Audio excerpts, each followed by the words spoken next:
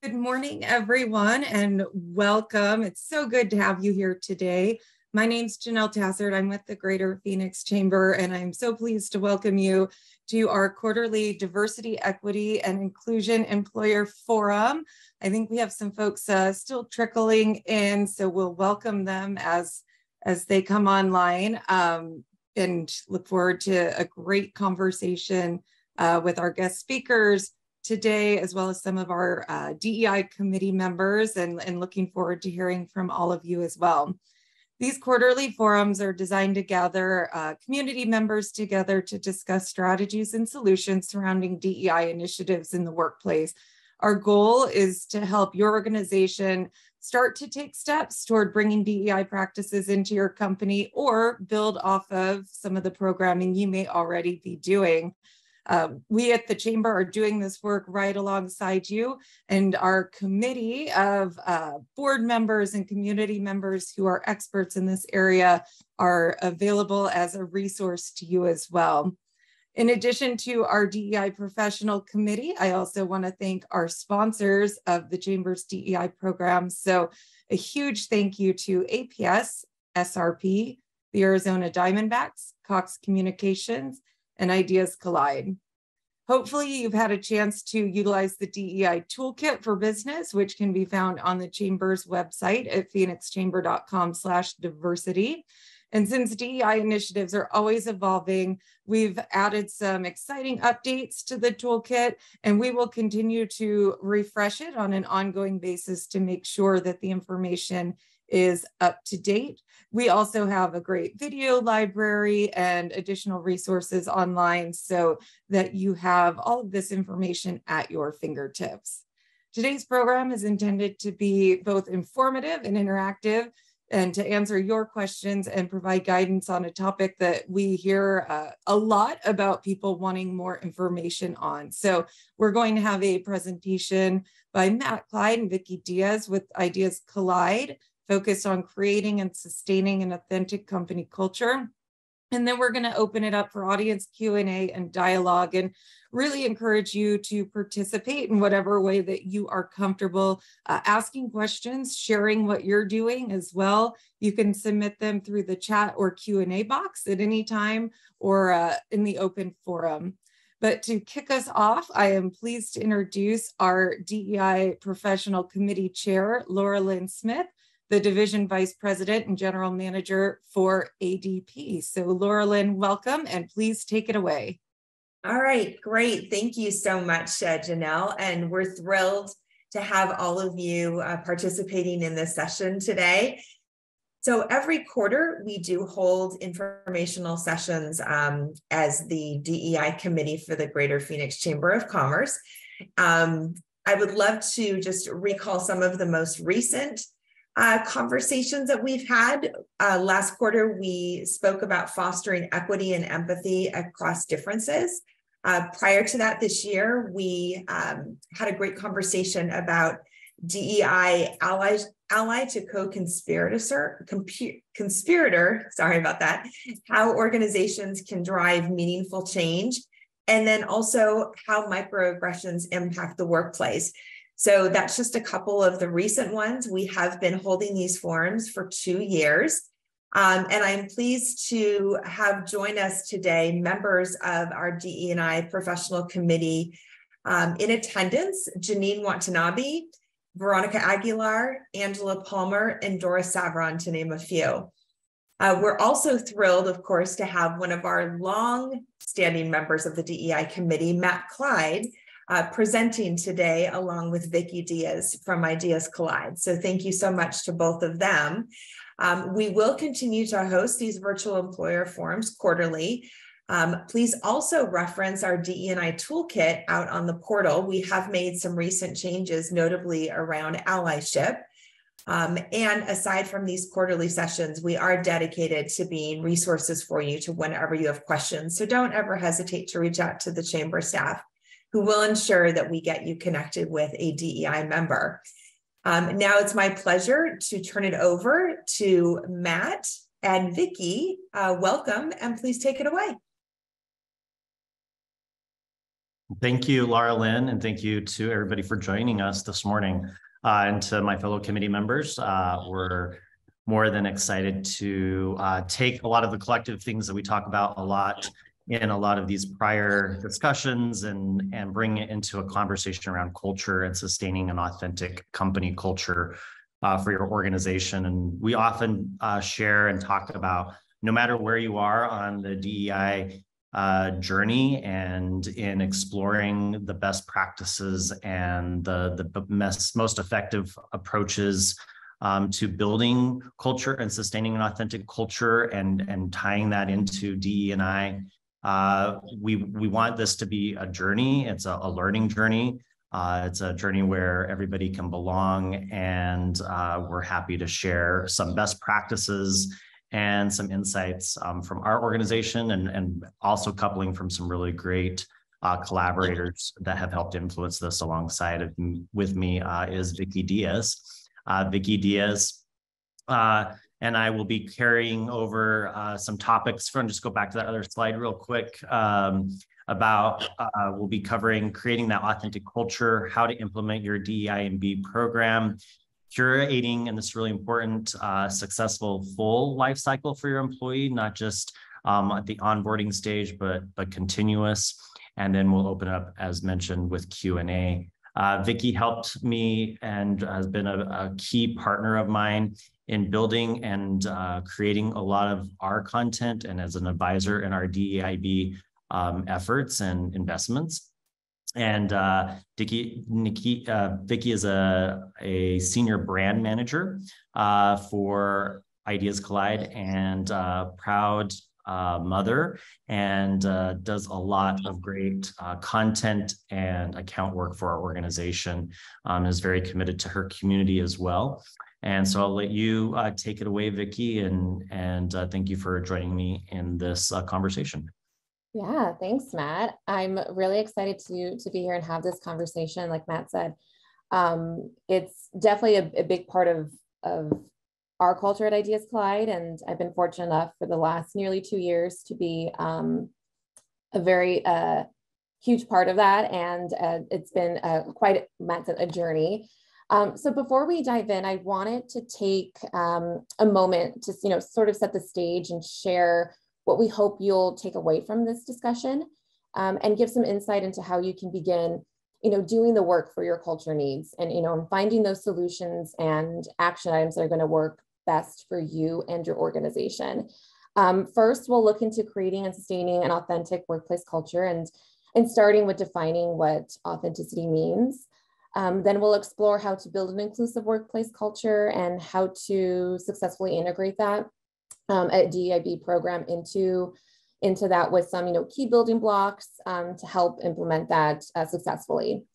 And then lastly, we'll provide some you know, direct insight from our own organization um, and provide some best practices and suggestions on how to ensure all that is successfully a part of your employee life cycle. And, and overall, we just want uh, you to take away these learnings and be able to integrate into your workplace um, as needed.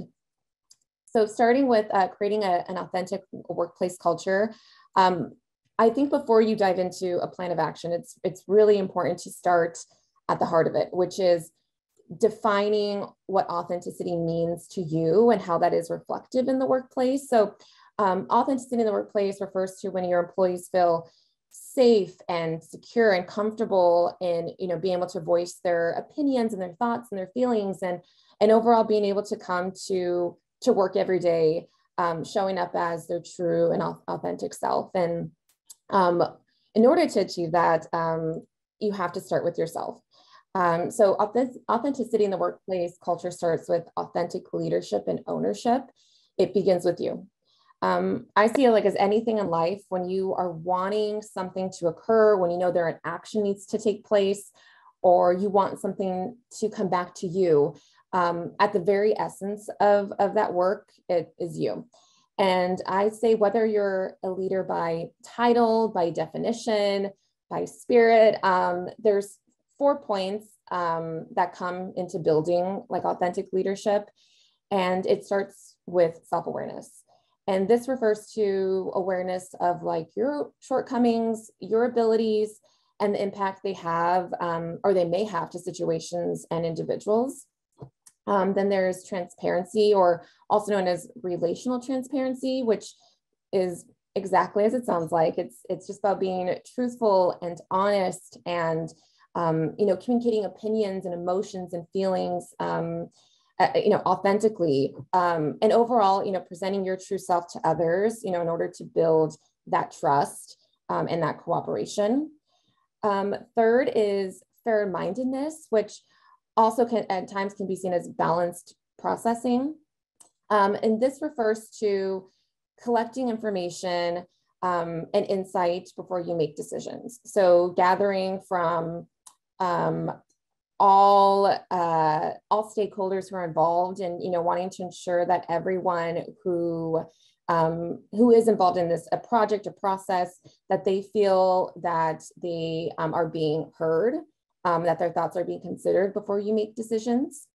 Um, and then there's internalized moral perspective, which is the um, ethical um, decision making and, and behavior. So being able to integrate your your values and actions in accordance with your internal moral values. So um, I think when you begin to, to evaluate and to assess um, authenticity in the culture, you have to begin that work with yourself. And once you start to be able to create that internal dialogue with yourself, that immediately would begin to spill into the actions that you create, um, the decisions that you make, and overall um, be able to, to have um, not only team members and employees and partners be able to feel that um, and also be able to um, give that back to you. We see this also as you put this forward. I think this is something that's often uh, discussed is uh, as you you invest in a, that authentic culture, you invest in that uh, those key areas that Vicki just outlined. Uh, there are definitely um, great outcomes uh, and why that matters in the workplace, and we always like to tie it back to this because I know many in our conversations uh, talk about, well, I, I, I'm getting pushback um, from my organization leadership, or I'm, I'm not getting the buy-in. And, and these are the reasons why it matters in the workplace. It really does drive that increase to employee engagement and performance. It shows and encourages both a personal brand can be connected and, and, and finding your purpose and passions and um, what's authentic to you can be part of, we put more into our work life uh, more than anything else. So we need that um, connection and, and how it defines and connects to your personal brand and, and your purpose. Definitely see lower turnover. We know we've uh, witnessed that in our work and in work with other clients in, in bringing that authenticity into the conversation and into making sure multiple voices are being heard drives innovation. Uh, more voices lead to more innovation and that stronger sense of belonging. And uh, love that this insight of you can always take a mistake. Um, and, and you definitely make mistakes along the way. When you are authentic, it means you're more vulnerable. And so when you're more vulnerable, you can say, hey, this was a mistake, and, and how can we build on this and learn from it to turn it into um, something that we can grow from? And uh, these really build that, that sense of purpose uh, in these efforts of building both authentic cultures and, and cultures that have DEI um, at its foundation. Yeah, and and to start building that foundation, it's I think it's really important to note that whatever you set for now may not be what you will have in place in two, four, seven years. Um, it, you know, the workplace culture is is not static. It's it's constantly evolving as you grow, um, not only as individuals but as an organization. So does it, and I think it's um, it helps to when you are able to to evaluate this on an ongoing, consistent basis. This helps ensure that your culture remains authentic um, and as well as supportive of your employees. Um, and then you're able to really analyze, you know, um, what fits and what doesn't. You know, staying what what elements are staying true to who you are and, and what you want to be and obviously a big portion of that is you know creating um, dialogue and space for employees to also contribute and own the culture um, so a good way to look at this is um, there's these three pillars that I that I like to use. Um, and it starts with like, as we know, authenticity starts with self-awareness.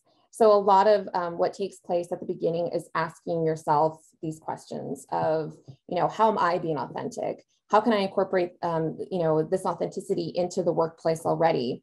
Um, and so I think when you begin to ask yourself these questions, or as a team collectively begin to ask yourself these questions, you're sort of then beginning to put the breadcrumbs into place of, okay, then what, what are the areas that we need to revisit, to um, reevaluate? And um, some of those core ones that I think are incredibly important um, to making sure there's there's that bridge of that authenticity across um, everything you do is to visit these three pieces, which the first and foremost is core values. I think if there are things that you're positioning with inside your organization as like, this is who we are, this is this is a testament um, to how we um, manage employees or how we manage um, our culture, that should be reflective in the values that you uphold. You know, values are probably the first thing that people see when they come to your website um, or as you explain what your organization is about. There's usually a core set of values that are is that is that roadmap. And so if you're saying that, you know, diversity and equity and inclusion is, is part of that, but it's not reflective in the values that you're presenting, that's probably something that you need to revisit um, as well as attracting and retaining talent. Um, how are you encouraging and empowering authenticity within the hiring process? Or when was the last time you reviewed and modified your um, employee life cycle? Um, and then communication and, and, recognition. You know, how are you celebrating the successes and the overall feedback that you get from, from team members and from staff?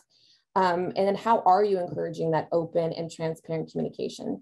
So by evaluating there's so many other avenues that you could evaluate but i think with these three core ones um, that really does give you more of that that stronger foundation of not only living by what what you're what you're saying that you are but also making sure that that bleeds into the culture that you're creating within the employee life cycle but also within the day to day which is extremely important and I think once you begin to ask yourself these questions, those breadcrumbs begin to form, you begin to evaluate those, those sort of key areas that you know maybe have some of those, those holes or, or maybe need to be revamped.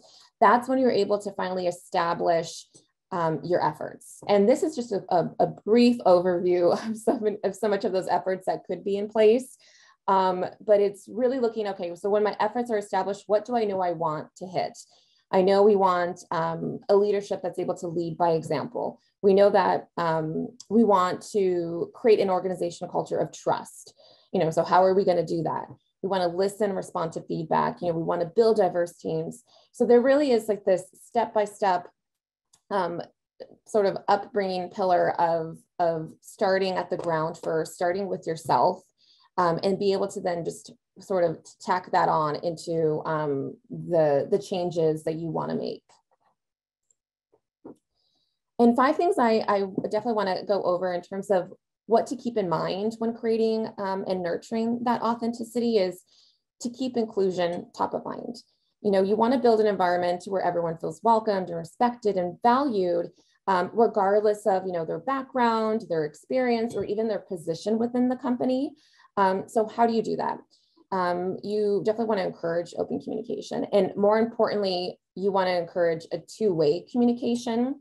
Um, it's not so much necessarily of like, listen to what we're saying or tell us what you think. But when there's a dialogue, when there's a strong two-way communication of that dialogue, that is where action takes place.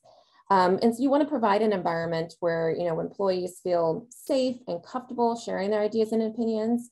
And one way um, to encourage that is by you know giving um, an end to decision making.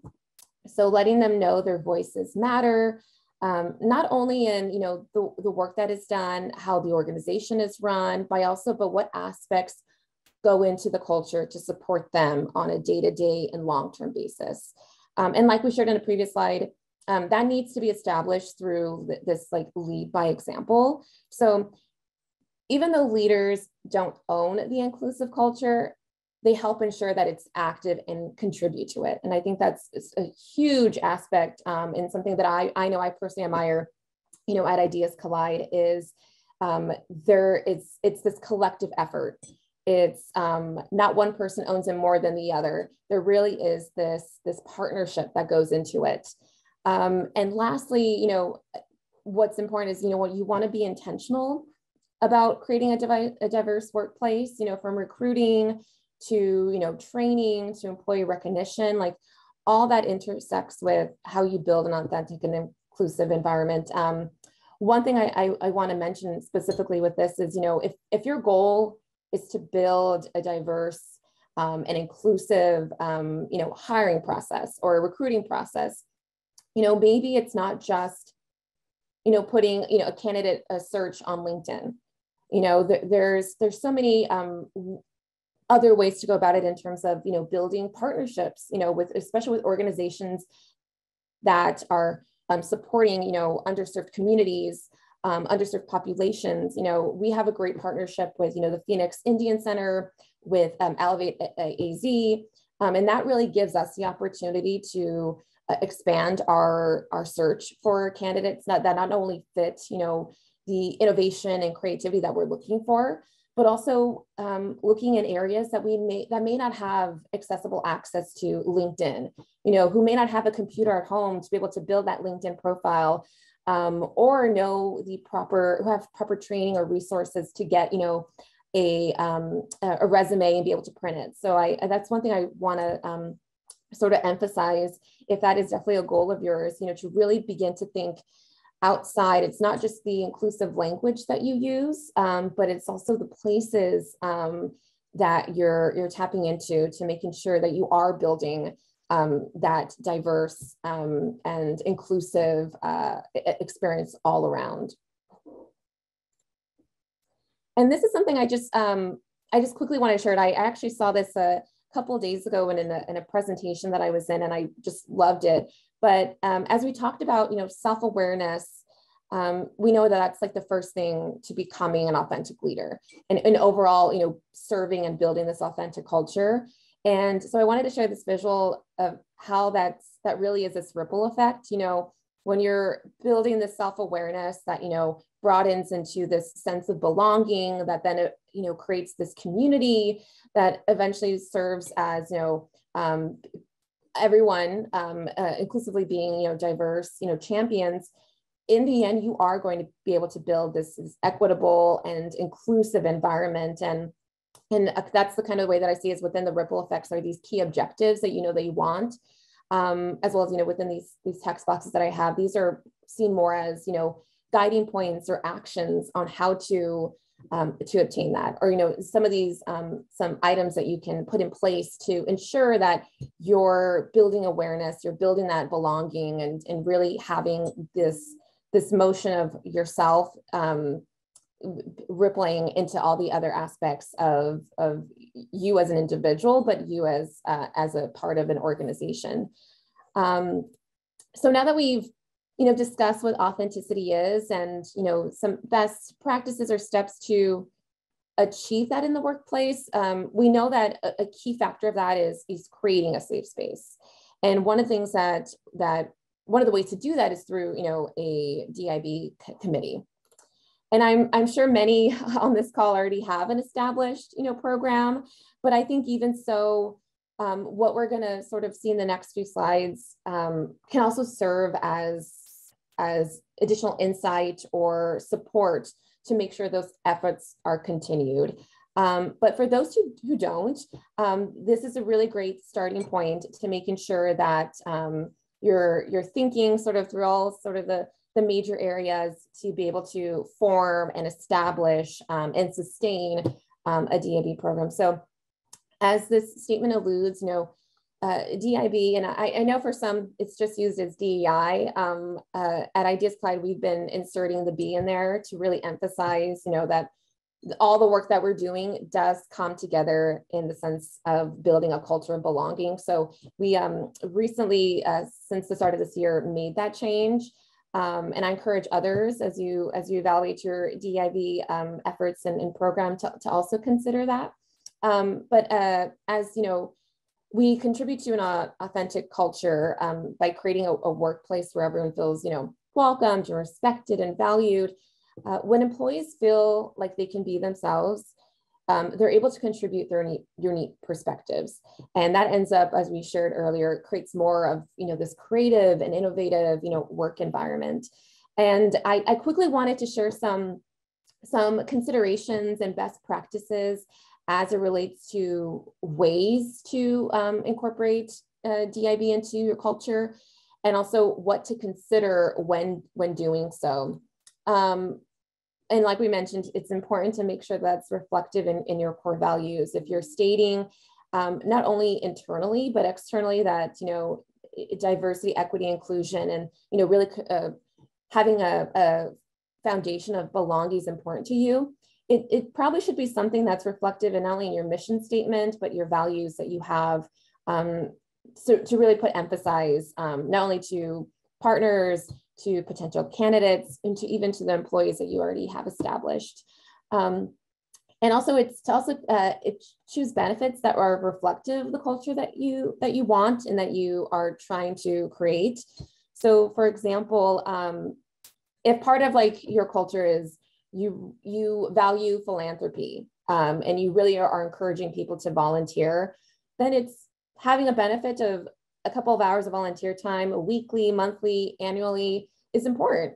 If you're if you're empowering your team members to be um, volunteer and advocates within you know companies and, and programs that matter to them, you need to give them the tools in order to be able to do that.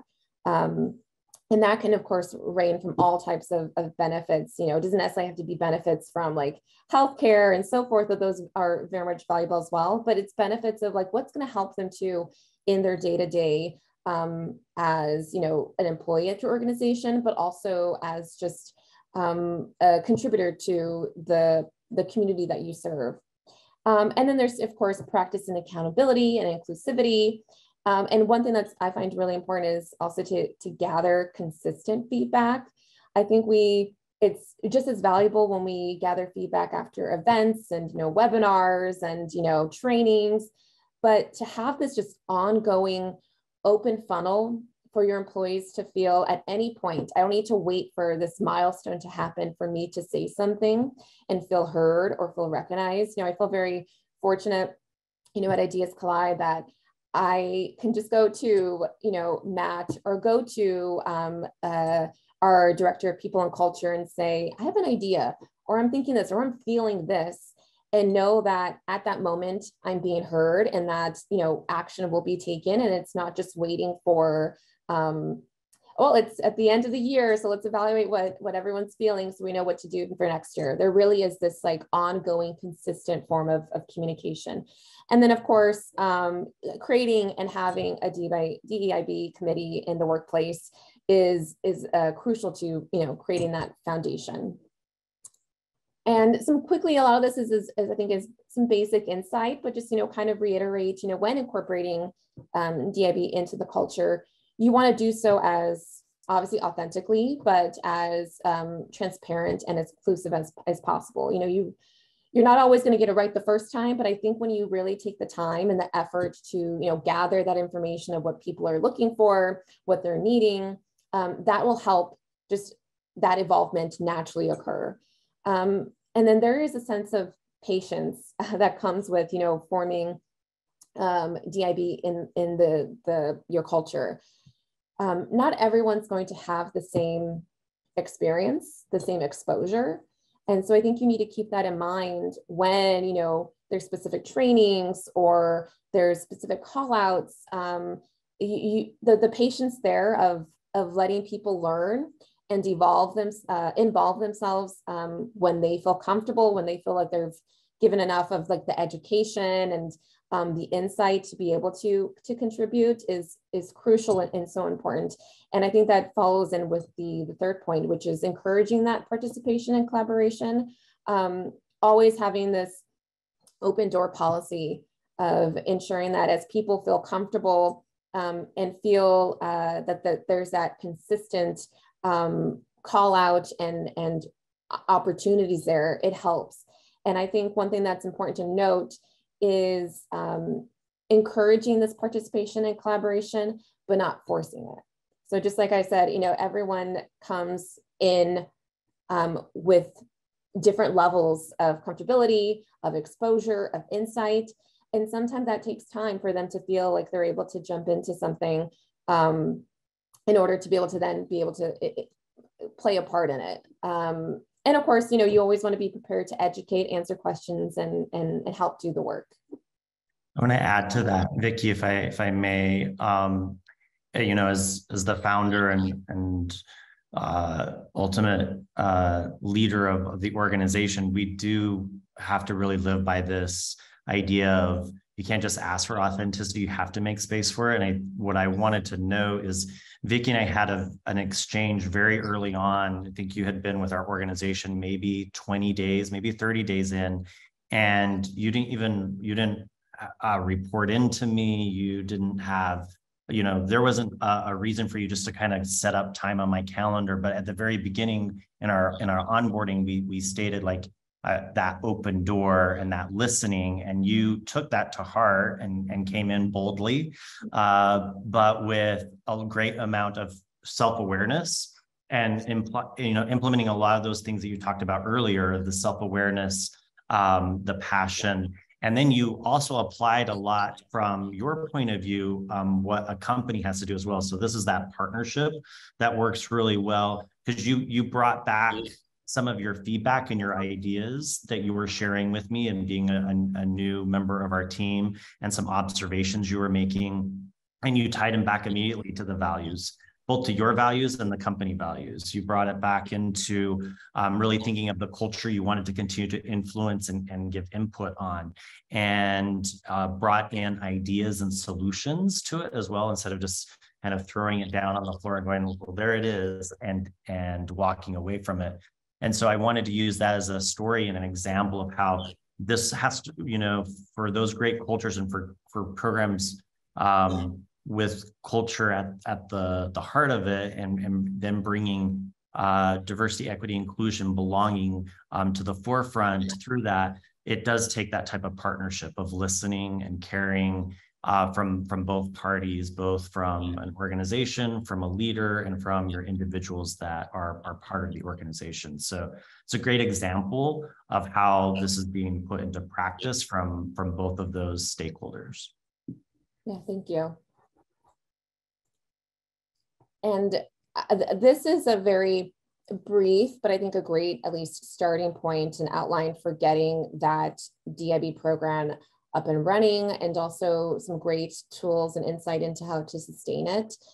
Um, so for those who are just starting from ground zero or maybe are looking to even revamp, um, one of the most important things that I, I, I feel is that comes first is you know not only you know developing the business case for it you know and setting sort of this you know creating this presentation of like what you are envisioning but it, it really comes with um, senior leadership buy-in it's and most importantly finding at least one advocate on the senior leadership team. I mean i again i feel very fortunate that everyone at ideas collide executive leadership is already has it buy-in who's already that advocate. But really it is fundamental if you're looking for for creating this from scratch you're not sure where to start, find at least that one advocate on the senior leadership team who you know is going to be able to support you. Um, and that's not just from like a support from like, okay, let's get this this program up and running, but ongoing. Who's going to be there to help answer questions help remove hurdles you know provide more insight and resources. Um, it's it's it's absolutely crucial and, and fundamental. Um, one aspect too is conducting an assessment.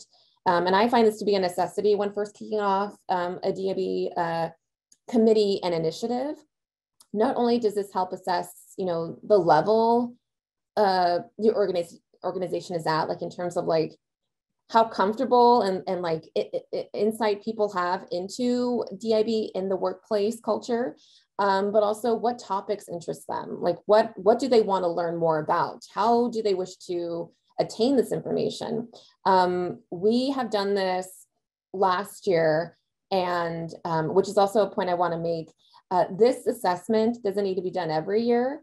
Um, I think, especially when you the first time around, you have it as um, as deep um, and uh, collaborative as possible. That information that you that you get back can be util utilized for two to three years.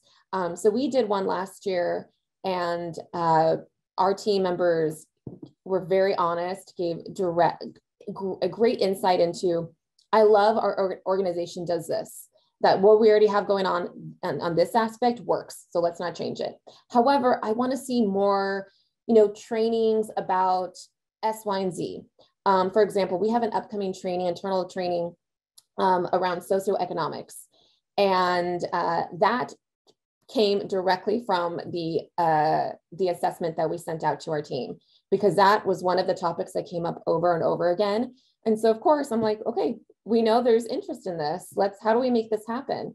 Um, as well as, as you get, you begin to evaluate the ways that they want to learn, that also brings up so many more opportunities. You know, so far we've done lunch and learns, we've done, you know, um, trainings that are, uh, uh, you know, more standardized to even panel discussions to even um, movies and discussions you know, where we watch, you know, a quick documentary during lunch and then spend 15 minutes afterwards as a team talking about what we loved about it, what we learned about it, what new insight did we get from this. So it really begins to open up not only the different ways that you can approach um, these learning opportunities, these engagement opportunities, but also um, the type of, of topics that your team is is wanting to learn more about. And and of course it really is going to set the stage for the goals and objectives that you you, know, you set out every year. Um, of course there's the forming of the committee you know invite. You want to make it to be an invite for all. Keep it open allow people to come in and out as they please. Um, that's one thing that i really uh, value about what we have established at the agency is it's not once you um, become a board on the committee it's like you're in it for life because we know people's workflow, personal life, it fluctuates. And um, we want to be respectful of that. And so we really do have this opportunity where we do have a set committee, people who very much show up and um, contribute on a reoccurring basis, but we like to make sure that opportunity is open for all. So contribute what they like, what they feel comfortable doing, and on the terms that um, that make most sense for them, especially because we know life can get crazy and we want to be um, not only um, understanding of that, but also be a form of support for that. Um, and then, of course, like we talked about, developing goals and objectives overall, the the foundation should be consistent. Like whatever you establish for your um, committee should should remain as is, but the goals are always going to evolve. And I think what we do at the agency, we have goals that we do annually, and that ranges from not only you know how many trainings a year, but um, how many new partnerships we want to curate, or how many givebacks we want to do, or how many attendees we want to make sure we hit for every um, event or training that we that we establish. So it can look like so many different things from participation, um, from you know your HR and recruiting to your content. Um, the the the opportunities are endless when it comes to that.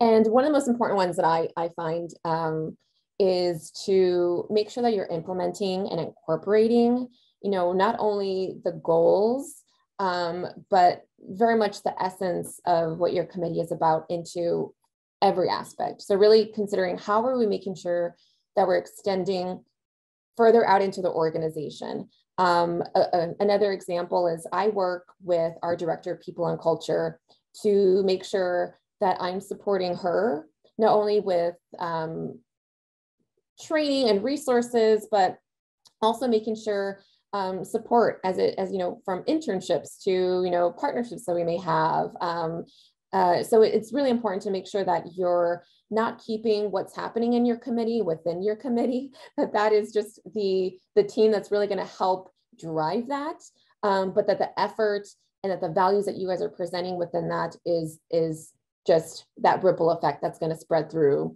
um, every avenue of your organization and I think another important aspect to, to note is to measure. Um, so also you're going to be putting goals together and you want to make sure that you're at least at some point keeping track of those so you know, okay, did I meet those? Um, how can I further build upon this or evolve? And, and so I think that's probably one of the most important aspects of, of a committee or any initiative that you may have at an organization is to have that measurement that's going to be able to inform you um, the additional uh, direction you guys will go in um, and overall keep the keep the committee fresh and evolving all the time. And uh, continue to make it a continued process. Like matt said it's a journey. So it doesn't just end okay whoop we're done. We have a committee established. We have goals. It's always going to be changing. So as your organization grows and changes so shall your culture efforts and that's including you know dib so I'm going to um, pass this on to Mike, I mean, I'm sorry, Matt, who's going to um, uh, uh, talk more about the employee life cycle. Yeah, we uh, wanted to think something we talk a lot within the the chamber uh, diversity and equity inclusion committee and learned a lot of insights from my fellow committee uh, members is that that culture is not is not just this one time thing. It's not just, you know, you do it once in a while, but it it's continuous. It's not, and it doesn't just happen at onboarding, and it doesn't just happen in that, oh, let's just do an annual check-in.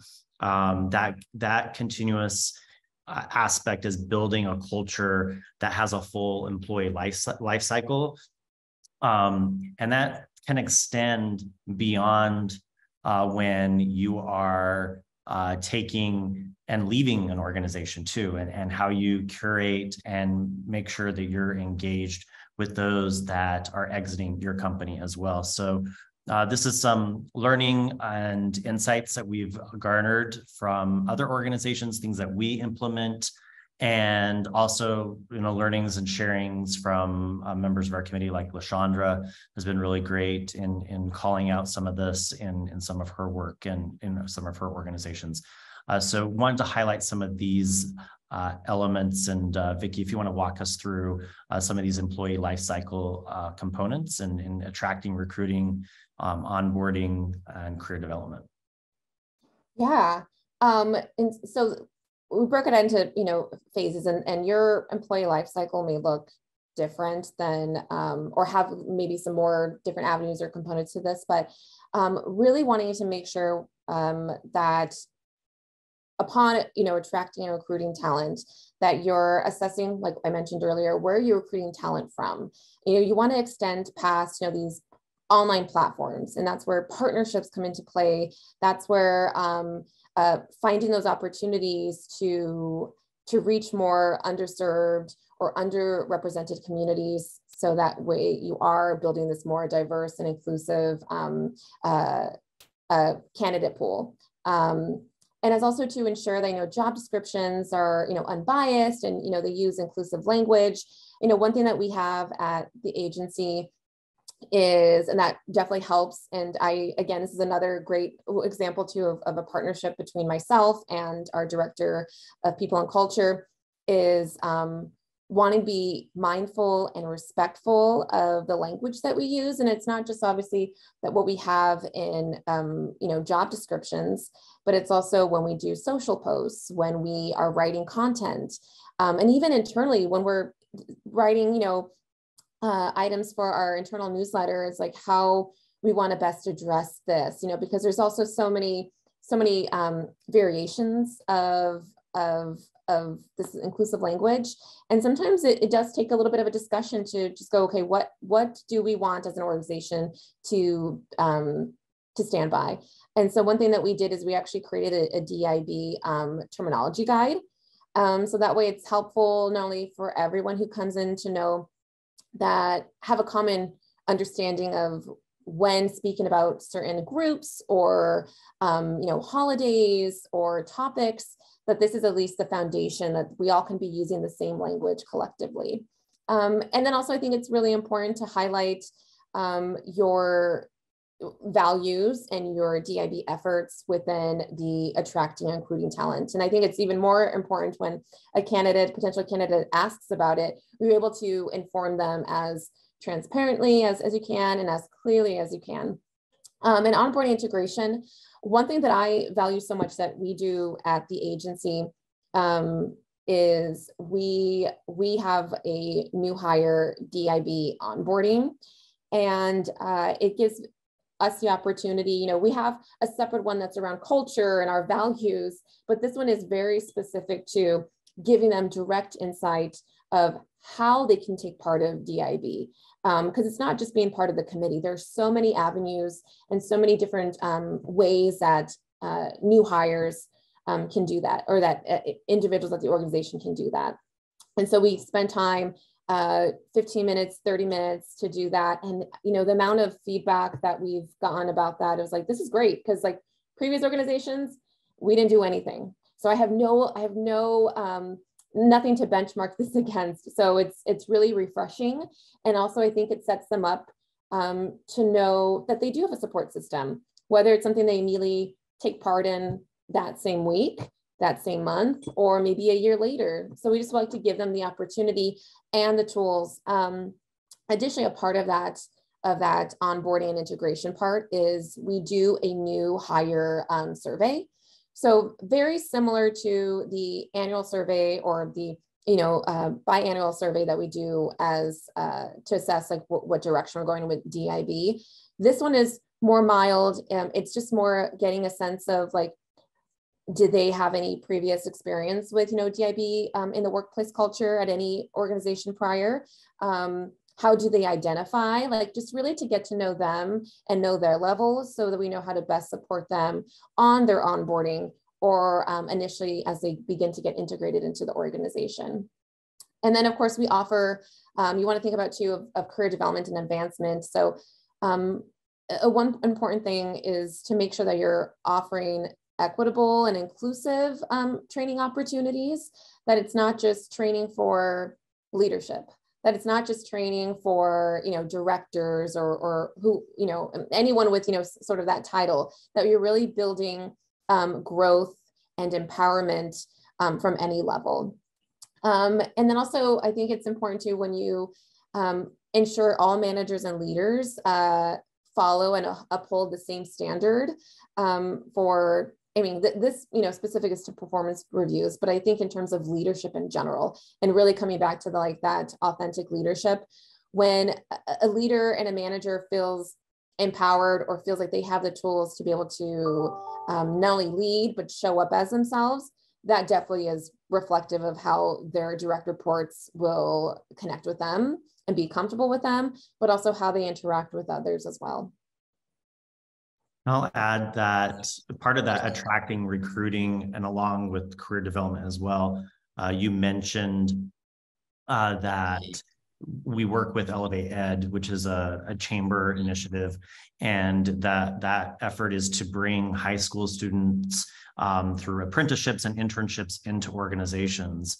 And we've been doing that for the last two years, and it's um, really important from a, attracting from a again life cycle. These are high school students so they're they're not really sure where they want to necessarily direct their careers. It's an opportunity to expose them to um, opportunities within design or copywriting or video production and open up uh, and expose to things that they maybe not have had experience around or um, to be aware of you know how you know some of our our business programs work um, it gives them those those paths and opportunities to do that uh, at, at an age when they're in high school and and from our our team side um, to nurture and mentor a high school student can be really exciting. It, sometimes at first, sometimes our team is like, well, they don't have experience. I don't know how they're going to uh, help me as an intern, but you you think of it more as like this is mentorship. This is um, opening doors for them to maybe help them find the career path they want to go on.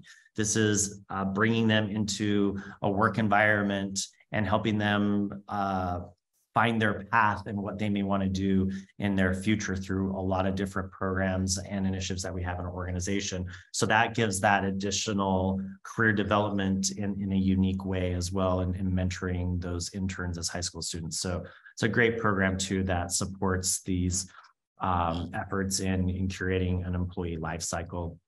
And then we'll look at here on the next slide, um, two last points uh, in the employee life cycle around retention and engagement and uh, also exiting and, and being an alumni. And we uh, have a lot of inclusive supportive work environment programs in, in the organization.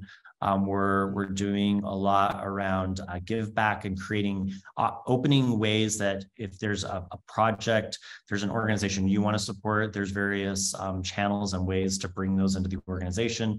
You can bring it to our DEIB team, you can bring it to our, our director of talent, you can bring it to our community giving um, group and recommend it. You also have recognitions within our organization where they can give back. That's not just rewarding the, the individual, but they also, we have programs where um, we also as an organization give them money to go give to a, a charity or a nonprofit of their choice. Uh, and that helps them feel even more excited in, in how they were recognized and tying it back into the community. Um, so those are small things that we do to retain and engage, um, but you can also use the, this as a checklist um, in building your own uh, life cycle for your team members.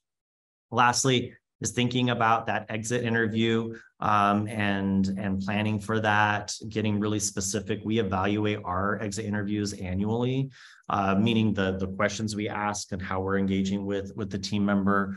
Uh, we review those um, not just as um, a manager when someone exits uh, and maybe the person over that group, but we evaluate them as a whole senior leadership team and, and pull out key themes um, and use those to um, improve and, and change uh, grow grow new training programs. So you can definitely learn from that feedback as you're given it. Um, don't make those just passive. Uh, really engage in how those exit interviews can help you improve and, and grow in your organization.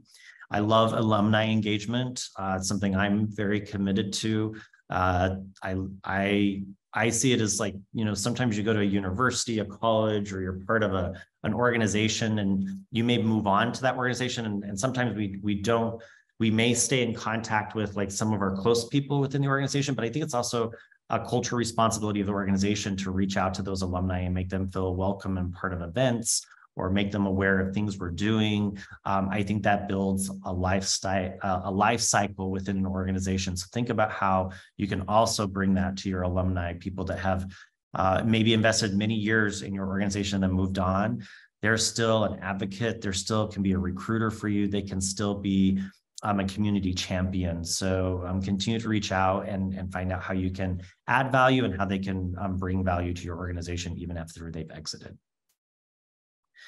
We thought we'd capture some of this just in a quick summary. And, and as Janelle mentioned, you'll have access to this presentation and hope you can use it to bring in some ideas and uh, share them out further. But as we look at these across culture um, and diversity and then employee cycle, we've, we've identified things that we're doing in our organization and putting it in action. Um, at the top here is our culture statement. So we put this up front in our uh, in our handbook and in our onboarding on the very beginning of, of our culture. And then we use it often in, in our discussions and in all our team meetings. Um, our culture statement is we want all team members to, to belong and to contribute to the culture of our brand with high performance excellence and a growth mindset to fulfill our company purpose of giving to our team, client partners, and community.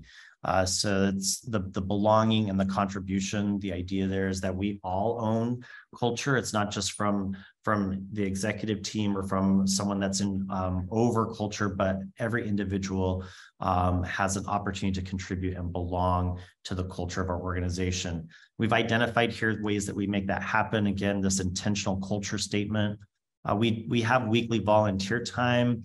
We do a lot of give back. Uh, we have recognition, recognition, recognition tools um, that we use and we, we give access to those at all levels. So um, for anybody's role, you can recognize one another. Um, it doesn't just have to come from a manager. So it has all access for everyone.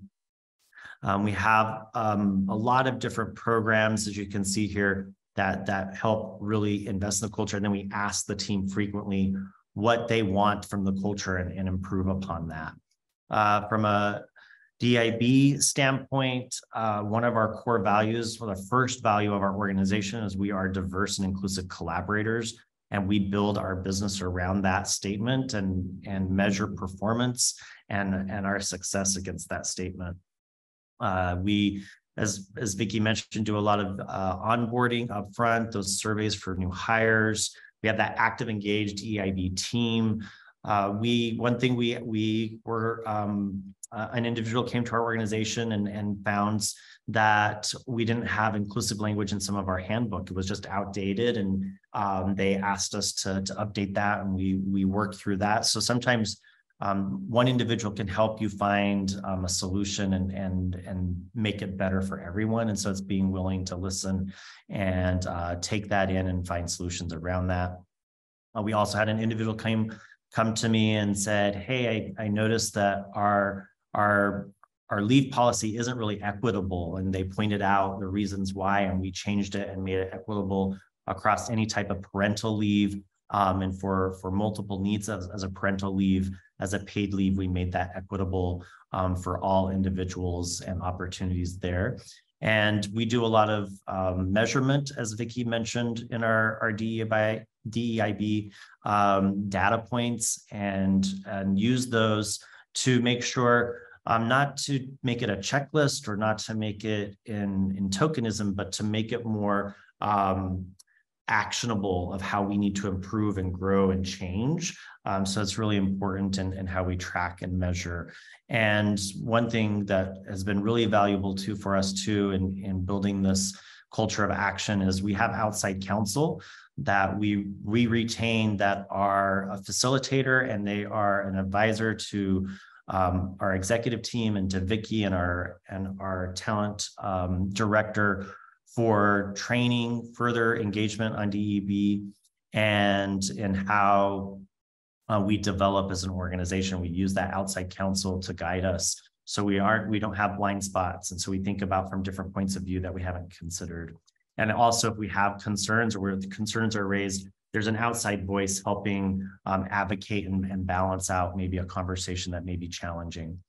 And uh, lastly, from an employee life cycle piece, uh, just that ongoing training, the onboarding, offboarding practices. Um, there's there's a really great um, list of actions that we take in onboarding, but we do the same for offboarding and making sure that that individual as they're leaving the organization feels heard, supported, and excited to continue to be um, a champion for our organization, the people that work uh, worked alongside them, and uh, mentor mentee programs, and then that also thinking about life cycle is really getting your team involved in other organizations and, and giving them time to go and find things that they care about, whether it's during work hours or after work hours, networking on their behalf and, and exposing them to that makes them be more committed to your organization, but also keeps you connected if they are to leave and, and partnering with them in, in other community programs.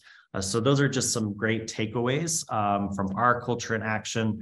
Um, and we've we've evaluated other big organizations um, that, that have these and we'll send those out in our materials as well and you can reference those. Um, we, we brought this from a more mid-size uh, company organization, uh, but have uh, for, for other larger organizations as well that you can use and reference. This is just a quick snap uh, shot of so some of those things in in play. Um, whether it's you know making sure um, we have content that that builds upon these these values and these learnings um, the things that we do on social um, some of our give back or partnerships um, it's just a kind of a, a quick overview of just the, that, the culture in action. Um, so as we wrap up i wanted just to revisit this initial slide um, where kind of putting a little bit of of um, those actions in place with what we wanted to hope you have you guys take away from this you know? So uh, in terms of defining authenticity we know that it starts with ourselves we know that it's it's um, made up of you know four components that build that authentic leadership um, that will eventually help us build and create that space of, of belonging and psychological safety you know, in terms of like, you know, bridging um, DEIB efforts and to your mission, um, as well as identifying those key building blocks. Um, we know there's a lot of open communication and encouraging that from, you know, two-way street, as well as providing um, opportunities for employees to participate in decision-making um, and being as intentional and honest um, in every aspect. and that includes also, you know, being intent, being honest with yourself of maybe there, maybe something is missing um, and coming to evaluate your core values and your full employee life cycle to make sure that that as your company has changed and evolved, that these aspects have done done so too. Um, and then of course we we know we want to be transparent in our actions, be patient, um, and uh, encourage participation but not force it, and then set that roadmap. Um, and again, this this can be adjusted and fixed based on your organizational needs, um, but having at least a set roadmap of of knowing where you need to start and what you need to do um, helps you know that there's going to be room um, for that evaluating, that evolving, and that adjusting. And then, of course, what are those best practices to put into the foundation of your employee life cycle? Overall, it's just ensuring that there's that there's inclusiveness and support across all areas. So making sure that everything that you're doing across, you know, DIB, across, you know, uh, authentic leadership, that that's finding its way through every every avenue, every aspect of your organization. So that's it from us. Um, I know we are going to um, open it up for, for questions. Great. Matt, Vicki, thank you so much. There was so much incredible content in that presentation. So we'll be excited to share that out um, this is something that has been a part of Ideas Collide's culture since the onset. It's a, a huge priority for Matt. Um, they were recognized for that many years ago through our Impact Awards process when they were a much younger company. And it's just something that has grown and evolved as Ideas Collide has grown and evolved. And they've kept that focus and uh, they've been such a huge mentor in the space of driving a strong company culture so kudos to you for living that value for for years and thank you for sharing all of that great information with us uh, so that we can take it back and and borrow some of the great things you're doing and uh, and build that into our companies as well. I, I know Laura Lynn mentioned several committee members are on the call. Um, that can be a, a part of the um, discussion that we have next, but I saw that uh, LaShondra Sarter also joined, who's a part of our committee, and then Sherry Bond uh, with ADP, who will be joining the committee in the upcoming fiscal year. So wanted to welcome them, them also. Um, a wealth of knowledge here. So want to hear if uh, you as participants have any questions for Matt or for the committee. So feel free to either um, raise raise your hand with that tool or pop it in the chat box. But I do see one. Um, yeah, we have one will, question there. Yeah. Yeah, that we can kick us off with. So Matt, if you want to go ahead and jump into that, that would be great. Yeah. So Michael, who's with uh, Valley of the Sun, uh, sent us a note about uh, building our, our program with a survey and and how we evaluated that um, and is looking for resources uh, for building surveys. Happy to, to share out um, our survey as an example, but maybe I'd ask our committee, uh, other, I think um, other tools maybe that are out there or references that we may have in the toolkit. Uh, but I'm happy to share us as a reference um, for some of the questions that we ask. And Vicki, I don't know if you have any other recommendations or a committee member has a recommendation on other survey examples. I'll just jump in. Yeah, I'm I'm even looking at the survey right now. Um, yeah, I'm I'm our um, survey just really quick. I think this was about 20 questions, so a, a little bit on on the heavy side than our normal standard survey, but it really was, um, some of them were multiple choice, some of them were, you know, um, uh, long form answers. So I'm more than happy to share this, this template that um, I created um, to really give you at least an overview of potential questions that you could ask. Um, as well as um, I can definitely point out to what, what were the ones that really drove a lot of engagement on. That's great. Uh, DEI committee members, do any of you have other thoughts you'd like to add to that? We jump to the next question. I can, yeah, we use something, um, um, we use something to assess when we got started and then we have an advisory council that then does ongoing updates, but there are a lot of tools in the, uh, in the chamber's toolkit on what you can do for assessing. So I would recommend starting there as well. Absolutely. Thank you, Doris. Looks like Kent has his hand up. Yeah, thank you. Um, so I, I, I, appreciated the summary slide in particular. I thought wrapped things up very nicely. And uh, the question that I had on the summary slide in particular is, uh, when you're talking about um, uh, encouraging participation, um, uh, the summary bullet point you have is encourage participation, but don't force it.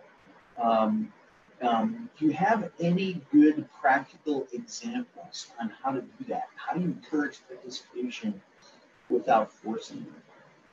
I mean, I think one of the most important things that we've done and I've seen is there is a sense of giving a sense of comfort around participation and, and you have to meet people where they are.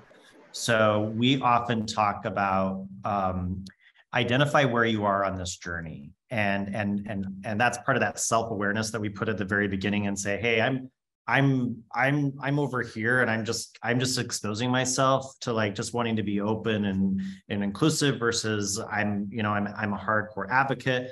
There there are others that are like hey i don't like this to be forced on me at all.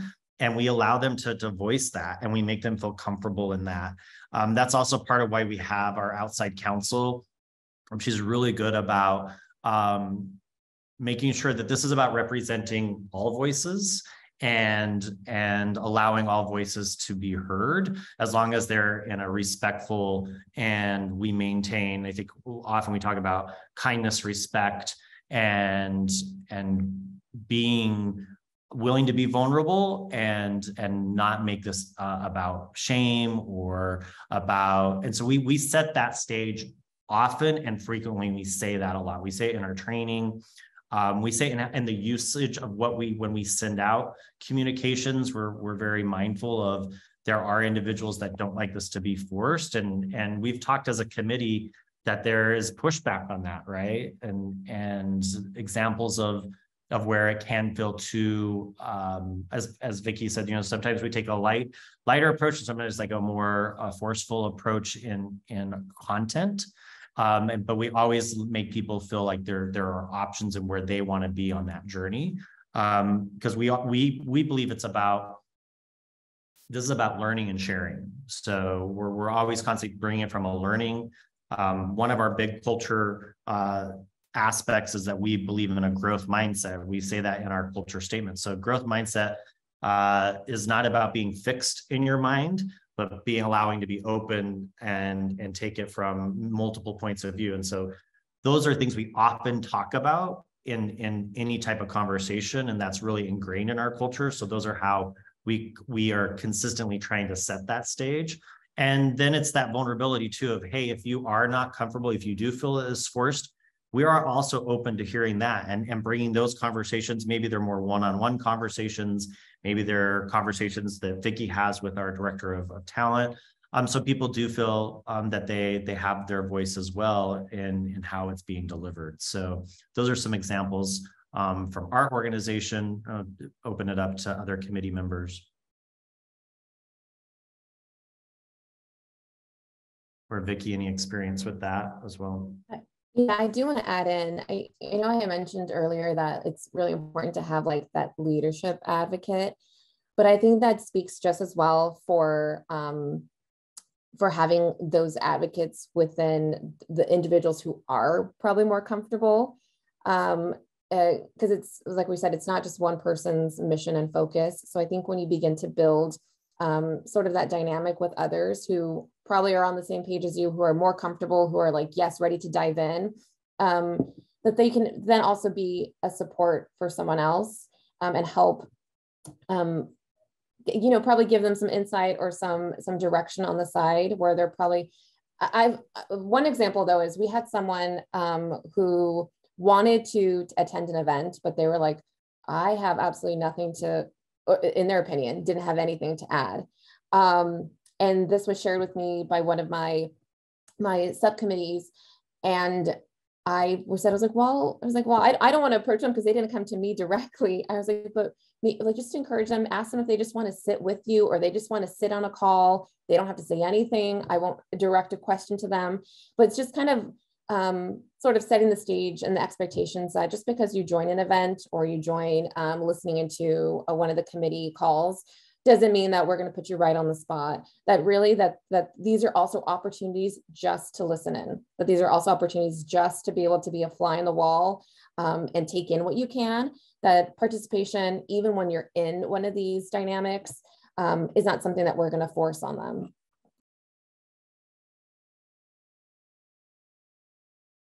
thank you appreciate that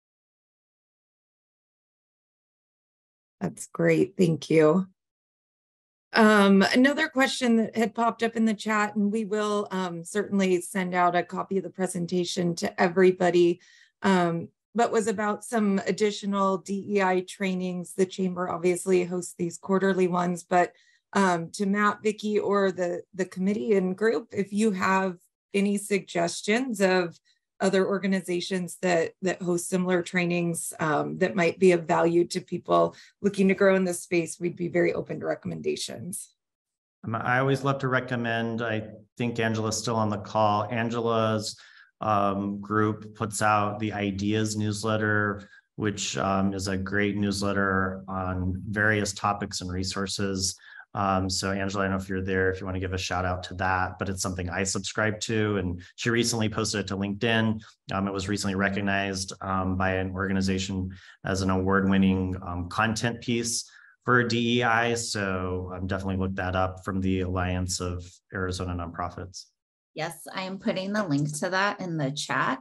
Um, and we post any of our trainings that we're doing that are um, DEI related in there, as well as any trainings with our partner organizations that are from across the country. Thank you so much. Um, and if you didn't see it, Doris, who's on our committee, uh, dropped this into the chat, and I think it's really great. But um, saying, whoops, uh, lost my chat here about their common statement that they use um, in their organization and all events that says uh, we value input and all perspectives, but that we expect respectful and civil conversations. And I think that's that's something that's really key and really important to set that stage. So Doris, thank you for sharing that language. That's really helpful.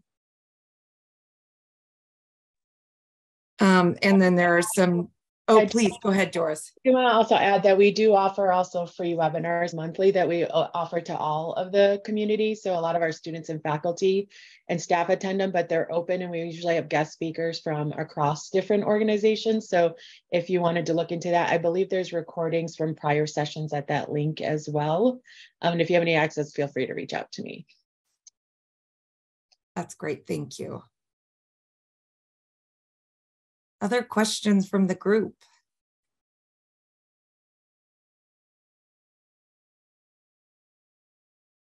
Well, I'd love some perspective on just things that um, that you've seen, Matt, Vicki, or from the committee members.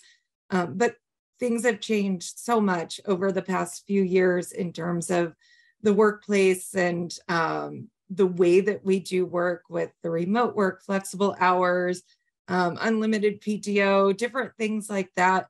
What are some of the trends that you're seeing and, and how are you seeing them affect the workplace culture? Because obviously we're not always all together anymore. It looks very, very different than it did just a few years ago. So. I mean, from my my perspective, one of the one of the, and I don't like to call it a trend per se, but something that's very much on radar. I think it's on radar for every organization is mental health and wellness. Um, I think the the the importance there, and I think the important thing to note is to make that a safe environment to talk about in your organization. And some things we've done in our organization is we give um, we we say just take a mental take a mental wellness day. You don't have to be like coughing with a cold to be feeling like I need to take time off just for my own mental wellness.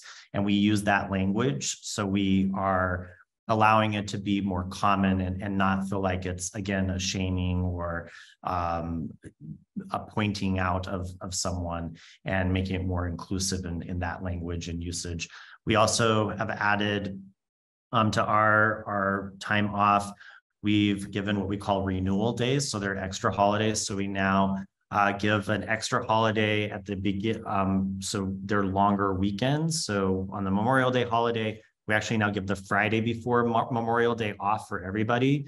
Um, and we call it a wellness day uh, for that uh, intent of people just to go renew and reju rejuvenate and use more time, like a block of time off. Um, we found that people come back more energized, more invested in work and, and in time investment. So we do that both on the Memorial Day holiday weekend and the, the Labor Day weekend um, to give a larger block of time for people just to be off and disconnected. Um, so that's definitely something that I would say is a trend. Another trend uh, to be very aware of in culture and, and, and working is uh, this ability to disconnect. So we are so virtually connected all the time that that fatigue of always being on Zoom or always attached to your computer, even when it's in your home. So we do try and find intentional ways to break that up or intentional, again, uh, disconnects, times where we're just like, hey, we need to be disconnected. Uh, Vicki mentioned little things that we do too to, to build that. Like we've done uh, move. We have we have team members across the country and in different countries uh, that that work for us, and so we do movies where everybody can um, join in and watch a movie together. We do it over a lunch break, um, and and just let people connect in, in a unique way uh, from from a different point of view of of just enjoying time together, like uh, we haven't, you don't have that as much in that that uh, virtual world. So we're trying to find those virtual intentions um, to, to connect and also be disconnected. I think one of the things that, oh, I'm sorry, Janelle. No, please go ahead, Janine. I think one of the things that, that I found really interesting um, within our company, some of our senior leaders have a tagline at the bottom of their email um, that says, you know, I'm working right now, but I honor your time off to Matt's point of getting away from the computer. Please do not feel the need to answer this until you start working again, right? Because there's a, there's a little pressure when people with very short titles uh, ping you throughout the day. Lots of you you want to get back to them really quickly. So I think that's one of the ways that our culture is starting to change too. And I think that I think that's a great thing for people to adapt and make that more normal. I've seen that quite a bit too, Janine. I think that's a really good, good point, and that sometimes that urgency to respond is pressure we put on our ourselves or make an assumption that may not be the case uh, just because somebody's working a little bit later. We don't know what happened in their day and you know that they may just have ne- needed to get caught up but not expecting you to respond. And um, that that mental wellness piece um, is is so key right now. And the chamber has a lot of great members within that space so if you need some additional resources when it comes to that we're happy to help direct you as well um other right. questions oh please nikki go ahead I, yeah sure i don't have a question i'm re relatively new to the phoenix area but um it is funny. I, I, had a personal experience where I allowed my team to do 360s on me. And they shared that, oh, it was wonderful. I felt so validated. But the one thing I got dinged on is when you send us emails at two or three o'clock in the morning, we feel compelled to act. And really, it was just because I happened to be awake and I'm sending them. So I had to learn to actually send them, but send them and schedule the time that they were sent at. I didn't realize I was causing stress in their mental space. And then um, the and I, ha I have an answer for that question. I was on a call yesterday with about 100 people nationally, and a lot of them were sharing that they're working remotely, but they're also dealing with some mental health stresses at home, like parents slowly dying, you know, teen acting up, and there's nobody to talk to. And uh, so there were no mental health breaks. So for that person, I think is Anton who asked, how can we do best practice to foster connection? So um, during COVID, I was primarily, well, everybody was, but um, for two years, basically, I was virtual. I lived in Atlanta, so I think the CDC had us um, in seclusion for longer than anywhere else in the country. But um, we did virtual happy hours. We did virtual coffee clutches where we didn't talk anything about work. We did scavenger hunts um, virtually that in, involved the whole family. So, um, you know, it was just being intentional about not doing work related things, but bu building relationships because we knew everybody was home with family. So building relationship, not just your team member, but involving their family in it.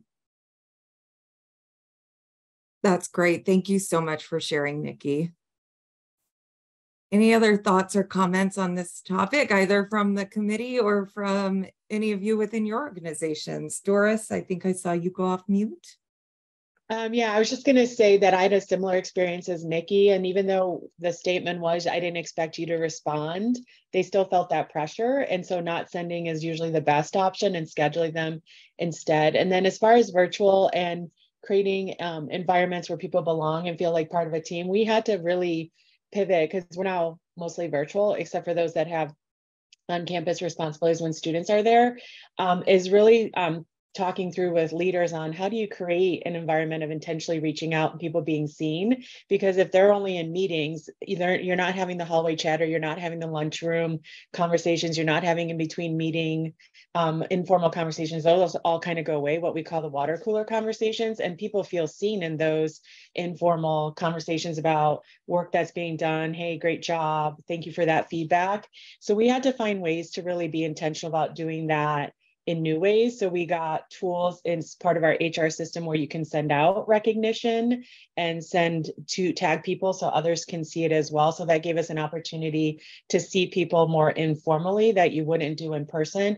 We also created community events for those that were local. We would do like movie nights, drive in in our parking lots.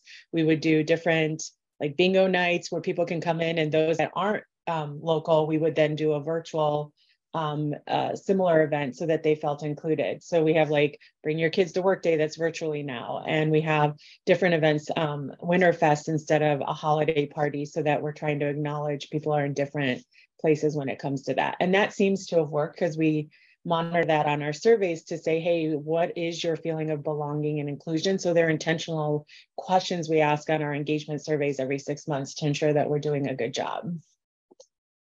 Thank you. And Janine, do you, it looks like you dropped some comments in the chat that were in that same vein. Would you like to share a little bit?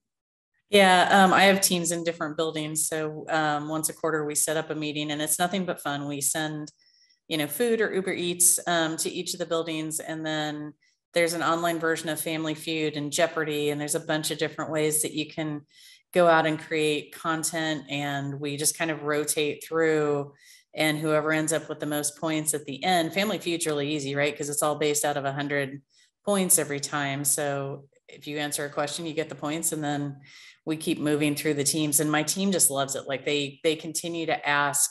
I'm running out of creative ideas. We've done it for about three years now. We started during covid. So um, but it's a fun way for everybody to engage and kind of you know step away from the workday and get uh, reconnected because they don't see each other all the time Thank you. That's great. And if anyone has ideas for Janine, um, as she's running out of them, send them her way.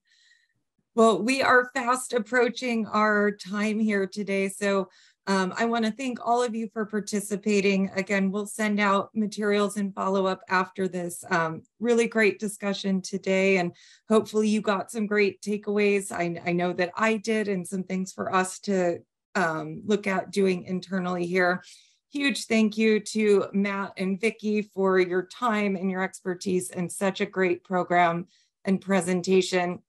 Um, our toolkit, Ashley had dropped it in the chat earlier, but um, online at phoenixchamber.com slash diversity. So take a look at our resources. And then if we can help connect you um, with others, let us know how we can best support you as you continue your work in this space. And uh, we will be back in a couple of months for our next quarterly forum. So keep an eye out for that. But um, wishing you all a wonderful day, and we hope to see you soon. Thanks so much.